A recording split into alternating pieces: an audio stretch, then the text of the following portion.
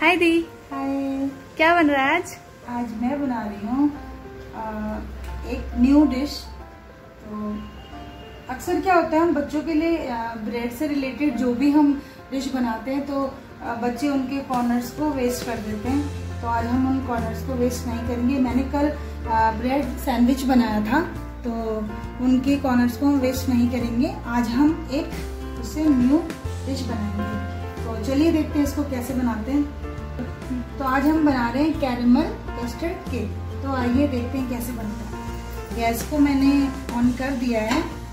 उसमें हम ये शुगर डालेंगे। थ्री टेबल स्पून शुगर है ये। और अब हम गैस को थोड़ा हाई फ्लेम करते हैं और इसको कैरमलाइज होने देते हैं थोड़ी देर। इसको पूरा हमें कैरेमल करना है, पूरा इस चीनी को पिघलाना इसमें पानी कुछ नहीं डालना। इसको सिर्फ़ ऐसे ही सिर्फ़ सिर्फ़ चीनी को ऐसे ही पिघलाना है। पानी हम नहीं ऐड करेंगे इसमें। तो ये शुगर कुछ ऐसे हो गई है। बिल्कुल कैरेमल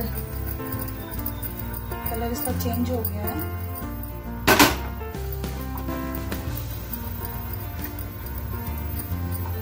गैस को हम सिम कर देते हैं अब।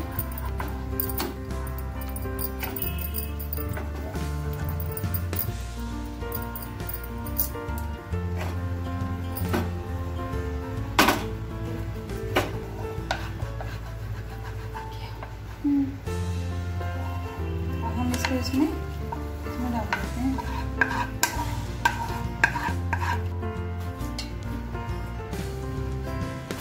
अब इसको हम एक ऐसे बर्तन में डाल देंगे और इसको पूरे में ऐसे फैला देंगे।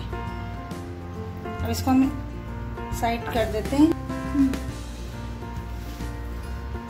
अब लेंगे हम एक जार। इसके अंदर हम ये ब्रेड डालेंगे और इसको ग्राइंड कर लेंगे।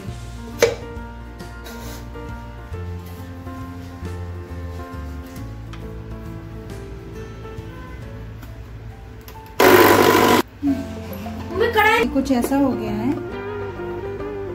बिल्कुल पेस्ट पाउडर पेस्ट जैसा इसका। अब हम यहाँ पे लेंगे एक गिलास दूध। अब यहाँ पे हमें लेना है दो टेबल स्पून कस्टर्ड पाउडर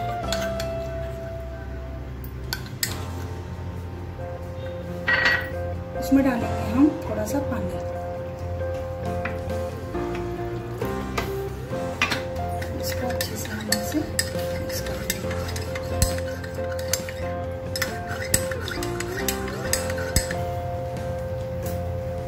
डालेंगे हम। तीन चम्मच चीनी। हम इसमें एक कप पानी ऐड करेंगे।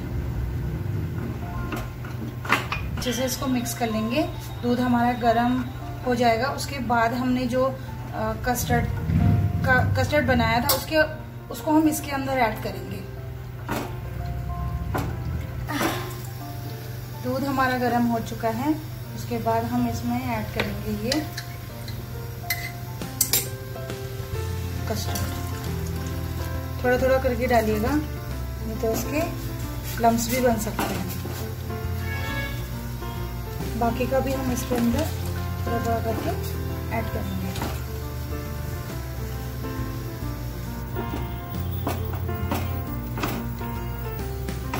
अब इसमें हम ये ब्रेड क्रम्स जो हमने बनाए थे, वो हम इसके अंदर धीरे धीरे करके ऐड करेंगे। इकट्ठे मत डालिएगा।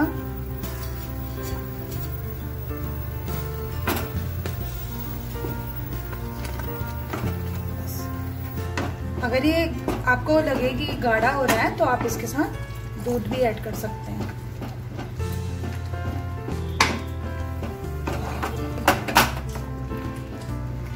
बैटर हमारा बिल्कुल तैयार है। और अब हम गैस ऑफ़ कर देते हैं। और ये बैटर हम अब इसके अंदर डालेंगे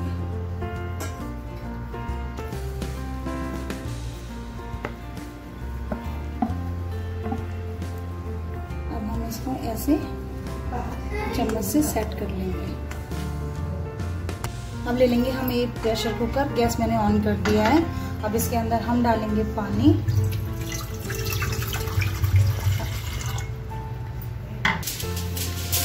अब हम इसको एक फ़ाइल पेपर से कवर कर देंगे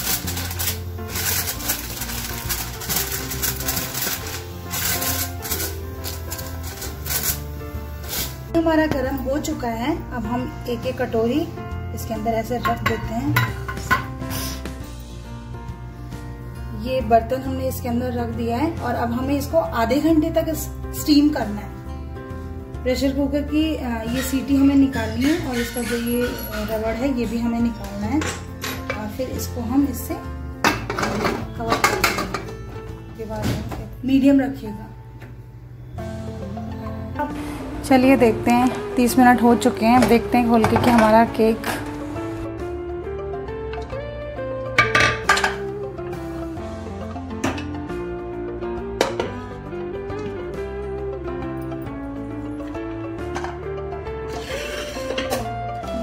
इसके अंदर से निकाल लिया है। और अब हम इसको थोड़ा ठंडा होने देंगे। ठंडा होने के बाद हम इसको दो घंटे के लिए हमें ये फ्रिज में रखना है ताकि ये फ्रिज में रख के सेट हो जाए। तो जिस तरह से हो जाएँगे फ्रिज में रखेंगे तो तब उसके बाद सेट हो ये केक मैंने ठंडा होने के लिए रखा था, उसके बाद मैंने ये दो घंटे के लिए मैंने इसको फ्रिज में सेट होने के लिए रख दिया था। तो अब ये कुछ इस तरह से हो गया है। अब हम इसको एक प्लेट में निकाल लेंगे।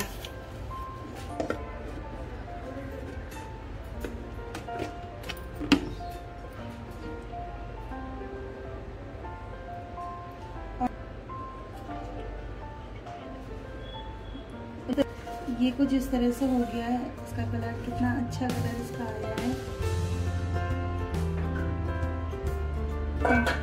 मैंने इसमें सिर्फ़ ब्रेड के कॉर्नर्स यूज़ करे थे। जो बीच में जो व्हाइट ब्रेड होती है, मैं, मैंने वो इसमें यूज़ नहीं करी थी। तो आप देख सकते हैं कितना सुंदर ये केक लग रहा है। प्लीज़ ज़रूर ट्राई करिएगा। अगर आप मेरे चैनल पर नए हैं तो please like share and subscribe thank you